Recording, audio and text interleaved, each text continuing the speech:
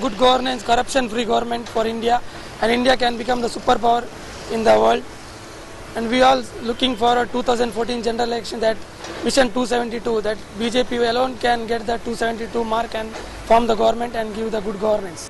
Now, I would not believe anyone who only talks about removing corruption and resigns when he is thrown into a between a rock and a hard place. I would like to elect someone who has been proven over the past 10 to 15 years and at the current in the current moment there is no one other than Mr. Narendra Modi. हम लोग हम लोग सब देखने का छोटे लोग देखने का एक नज़रिया ही कुछ अलग है मगर मोदी मोदी वो जब देखता है तो आ, सभी लोगों को उस प्रॉब्लम से कैसे लाभ उठा सकते हैं उसको देखता है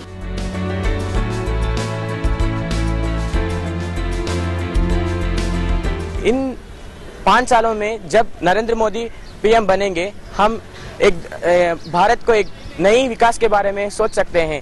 इसलिए हम नरेंद्र मोदी को इस साल बनाए बनाना चाहिए। जब भी हम बात करते हैं प्रगति की हम हमें तो सिर्फ़ मोदी मोदी जी की याद आती है क्योंकि जो गुजरात में उन, उन, उन, उनके उनके जो परिश्रम के परिश्रम से जो प्रगति हुई है वो सिर्फ़ सिर्फ़ हमारे मोदी जी के वजह से हुई है।